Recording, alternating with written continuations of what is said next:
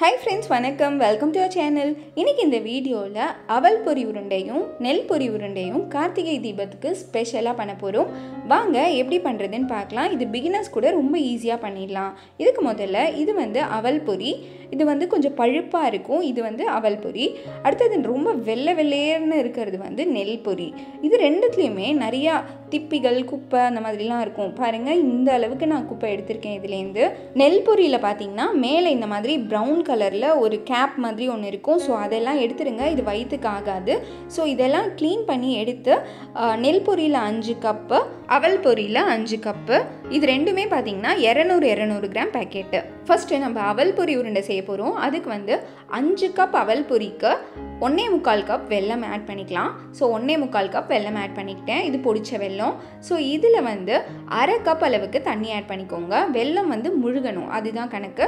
So அந்த அளவுக்கு தண்ணி ஆட் பண்ணிவிட்டு இதை நல்லா டிசால்வ் ஆக விடுங்க. ஸோ இப்போ நல்லா டிசால்வ் ஆகிடுது இதை வந்து வடிகட்டிக்க போகிறோம் ஏன் வடிகட்டுறோன்னா இந்த வெள்ளத்தில் வந்து நல்லா கருப்பு கருப்பாக ஒரு இது இருக்கும். கல் மண்ணெல்லாம் கூட இருக்கும். ஸோ இப்போ பாருங்கள் நான் உங்களுக்கு அந்த கல் மண்ணெல்லாம் காட்டுறேன். இப்போ பார்த்தா உங்களுக்கே தெரியும் அந்த இடத்துல நிறைய கருப்பு கருப்பாக இருக்குது பார்த்தீங்களா இதெல்லாம் நம்ம சேர்க்கக்கூடாது. அதனால தான் நம்ம வடிகட்டிக்கிறோம். ஸோ வடிச்சாச்சு. வடிகட்டின பிறகு திரும்ப அதே பாத்திரத்துலேயே விட்டுக்கலாம். பாகு காய்ச்சறதுக்காக. இதோட பாகு பதம் என்னன்னா தக்காளி பதத்துக்கு அடுத்த ஸ்டேஜ் டங்கு பதம் அப்படின்னு சொல்லுவாங்க. ஸோ நான் உங்களுக்கு தக்காளி பதத்தையும் இதில் காட்ட போகிறேன் எப்படி வரும்ன்ட்டு. வெள்ளை பாகு கொதிக்க ஆரம்பிக்கட்டும். சிம்மில் வச்சுக்கோங்க. சிம்மில் வச்சுக்கிட்டு நீங்கள் தேங்காயில் ஒரு மூடி எடுத்துக்கோங்க. அதுலேயும் பாதி. அதை வந்து இந்த இந்த மாதிரி சின்ன சின்ன பீஸாக கட் பண்ணிக்கோங்க. இந்த பாருங்கள் உங்களுக்கே தெரியும். ரொம்ப குட்டி குட்டி பீஸு இது வந்து பொரி உருண்டையில் இருந்ததுன்னா ரொம்ப நல்லாயிருக்கும் சாப்பிட்றச்சே அதனால தான் நம்ம இந்த மாதிரி கட் பண்ணி எடுத்துக்க போகிறோம் ஸோ வெள்ளை பாகு ஆகிறதுக்குள்ளே நீங்கள் வந்து அந்த மாதிரி கட் பண்ணி வச்சுக்கோங்க. இந்த பாகு வரதுக்கு அஞ்சுலேருந்து ஏழு நிமிஷம் ஆகும். ஸோ இப்போ முதல்ல செக் பண்ணி பார்க்கலாம். இப்போ பாருங்கள் தண்ணிக்குள்ளே இந்த மாதிரி விட்டுக்கணும். விட்டால் ஃபஸ்ட்டு பாருங்கள் இந்த மாதிரி டிசால்வ் ஆகிடுறது கையில் உருட்டுறதுக்கே வரல. இது ஃபஸ்ட்டு பதம். அடுத்தது பார்த்தீங்கன்னா இப்போ பாருங்கள் கொஞ்சமாக நான் விட்டுக்கிறேன். விட்டுட்டு இப்போ உருட்டுறதுக்கே எனக்கு வருது. ஆனால் ஹார்டாகவே ஆகலை. இது வந்து அப்படியே சாஃப்டாகவே இருக்குது இதுதான் தக்காளி பதம். இதோட நிறுத்திடாதீங்க. இன்னும் கொஞ்ச நேரம் பாக காய்ச்சணும். பாக காய்ச்சினா தான் நமக்கு டங்கு பதம் வரும். ஸோ பாருங்கள் திரும்ப இன்னும் கொஞ்சமாக விட்டுக்கிறேன்.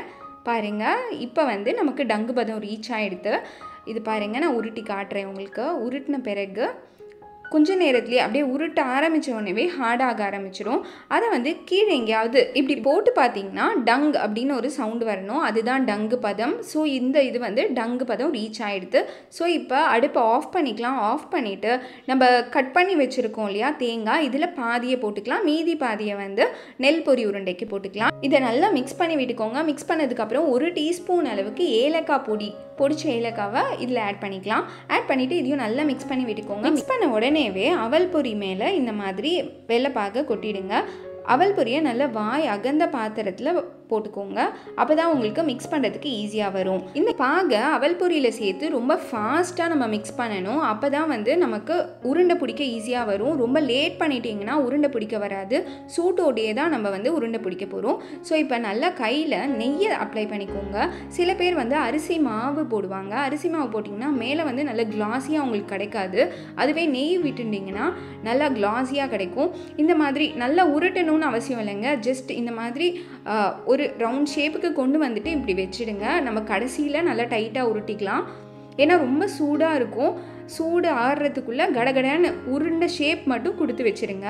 ஸோ இப்போ பாருங்கள் எல்லாத்தையும் நான் திரும்ப இந்த மாதிரி நல்லா டைட்டாக பிடிச்சி வச்சுட்டேன். இப்போ பாருங்கள் இந்த மாதிரி நல்லா டைட்டாக பிடிக்கணும். நான் ஒன்று மட்டும் உங்களுக்காக பிடிச்சி காட்டுறேன் பாருங்கள் நல்லா இந்த மாதிரி டைட்டாக பிடிக்கணுங்க. டைட்டாக பிடிச்சாதான் நமக்கு வந்து பொறி பொரி உருண்டை வந்து ரவுண்ட் ஷேப்லேயே ரீட்டைன் ஆகும். இல்லைன்னா உதிர்ந்துடும்.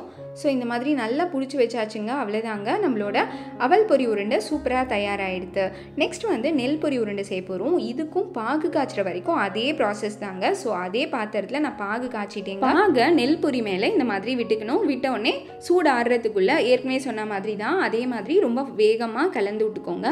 கலந்து விட்டதுக்கு அப்புறமா வந்து நம்ம உருண்டை பிடிக்க போகிறோம் இதில் வந்து வெல்லம் தான் சேர்க்குறோம். அது தவிர அவல் பொரி நெல் பொரி எதுவுமே ஆயில் இல்லாமல் செய்கிறது தான்.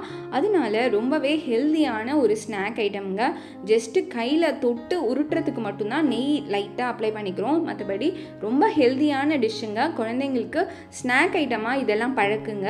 ஃபஸ்ட்டு சூடு ஆடுறதுக்குள்ளே அந்த உருண்டை வடிவத்துக்கு கொண்டு வந்து இந்த மாதிரி எடுத்து வச்சிடுறேன். அதுக்கப்புறமா நல்லா டைட்டாக உருட்ட போகிறேன் பாருங்கள் ஸோ இவ்வளோதாங்க ரொம்ப கிளாஸியாக எப்படி இருக்குது பாருங்கள் கண்டிப்பாகவே நீங்கள் இதே மெஷர்மெண்ட்டுக்கு பண்ணிவிட்டு நல்ல பாகு வெள்ளமாக வாங்கிக்கோங்க. சாதா வெள்ளத்தை விட பாகு வெள்ளம்ங்கிறது நல்ல ஷைனிங் கொடுக்கும் நல்ல கலராக இருக்கும்.